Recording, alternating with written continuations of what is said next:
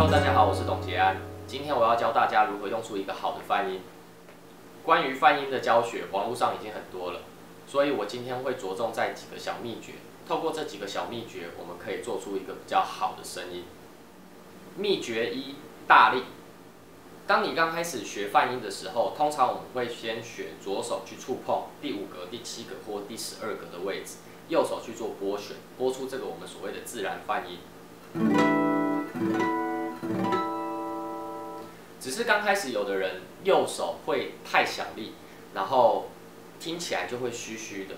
所以刚开始你在练习的时候，你可以，我是都会建议学生尽量大力一点，因为你大力一点会比较容易得到一个有颗粒、清晰的泛音。秘诀二，拨奏的地方尽量靠近下弦枕，因为弦一条这么长，中间的张力是比较小的，靠近两端的张力是比较大的。所以意思是我在中间拨奏的话，声音听起来会比较软，相对的会比较软。可是当我越靠近下旋枕，越靠近两端拨奏的时候，它的声音听起来就会比较硬，所以我们的声音听起来就会比较强而有力、有颗粒的感觉。这对刚开始我觉得是一个还蛮不错的一个步骤。那我自己的习惯的话，是比较靠近音孔下缘这边，大概在这个附近拨奏会比较好。再过来其实会有一点太。太 over，你们可以试试看。接着我示范一下，我从中间的位置开始拨奏，然后开始往后面拨，再拨回来。你们可以听一下声音的变化，那你们也可以自己试试看。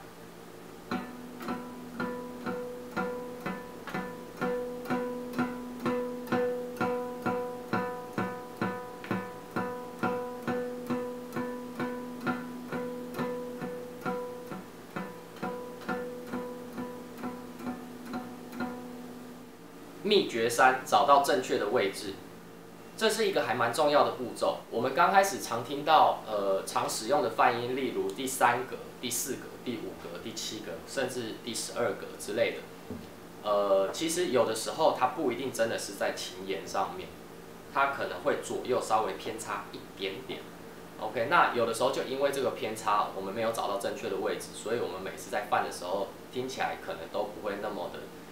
确实，然后那么的有颗粒，然后那么的明显，那么的清亮，所以在对我们找到正确的位置来说，这个是一个非常重要的步骤。因为有的时候一差一点点，它可能就会没声音，或者是它的声音听起来怪怪的。所以我们刚开始在试每一个格子的泛音位置的时候，我们就可以先把我们的手放在琴弦上面，先弹弹看它的声音如。接着，我们再去左右稍微移动一点点，去试探一下有没有更好的位置。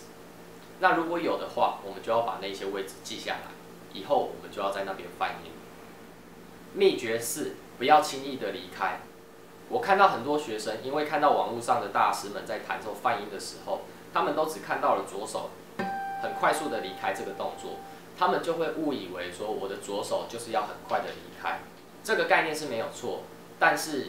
反而导致他们很常会出现一种状况，就是触碰的手比弹奏的手还要快离开弦，所以就会变成说我根本都没有翻到音，常常会有这种状况导致发生。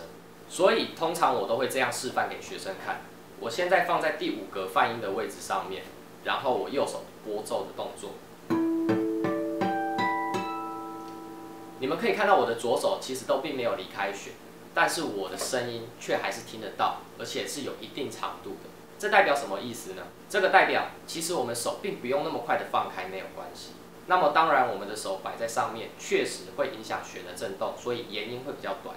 但是我要证明给你们看，我们手只要摆对位置，右手确实的去做拨奏，它的声音是出得来的，而且我的手都没有离开。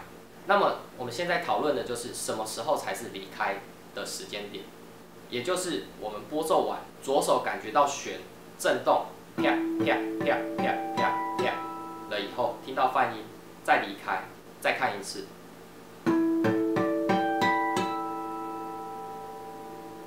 是不是一个很好的泛音？所以我们慢慢要练习这样子的一个步骤。那么这样子的步骤练习熟了以后，我们都可以确实的做好每一个泛音。那在熟练这样子的步骤了以后呢？我们这样子的动作就可以越快，那你越熟练，就可以像网络上的大师一样，看起来好像很快，但是每一个发音却都很确实。